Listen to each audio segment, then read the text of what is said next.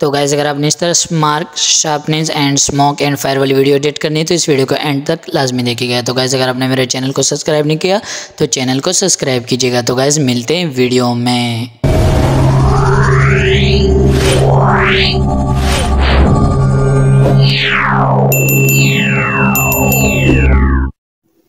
तो गाइस सबसे पहले अपना कैप कट ऑन कर देना है।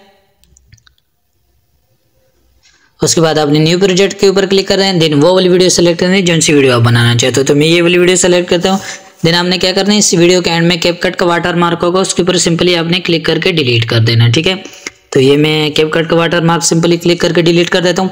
अब नेक्स्ट क्या करना है, अपने इफ़ेक्ट के ऊपर क्लिक कर देना है। एंड देन वीडियो इफ़ेक्ट के ऊपर क्लिक कर देना है। और यहाँ से पहले आपने लेंस के ऊपर लेंस के ऊपर क्लिक कर देना है, ठीक है? लेंस के ऊपर। और यहाँ से आपने पहले इफ़ेक्ट सेलेक्ट करना है स्मार्ट शार्पनिंग ये वाला इफ़ेक्ट ठीक है? तो इसके आपने पहले के शार्पिंग की ओपेसिटी आपने रखी, नहीं है सेवेंटी परसेंट ठीक है? एंड देन रेंज की ओपेसिटी भी आपने सेवेंटी परसेंट रख देनी। ये सारे आपने सेवेंटी परसेंट कर देने, ठीक है?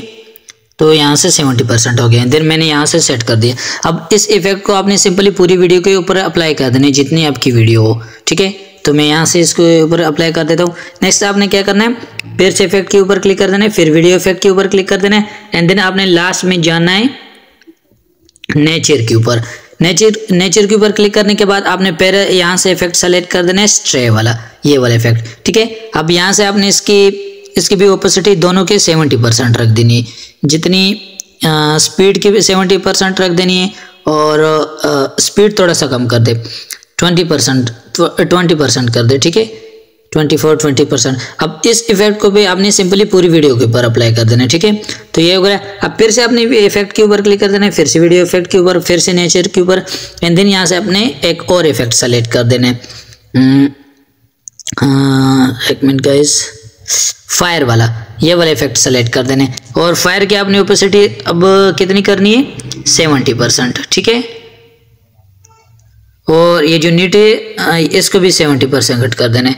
और इसको भी सिंपली अपने फुल वीडियो के ऊपर इस तरह अप्लाई कर दें तो गाइज़ ये वीडियो रेडी हो गई डेमो के तौर पे मैं आपको प्ले करता हूँ। अगर आपको वीडियो अच्छी लगी तो वीडियो को लाइक करें, मेरे चैनल को सब्सक्राइब कर दे। तो प्ले करके दिखाते हैं।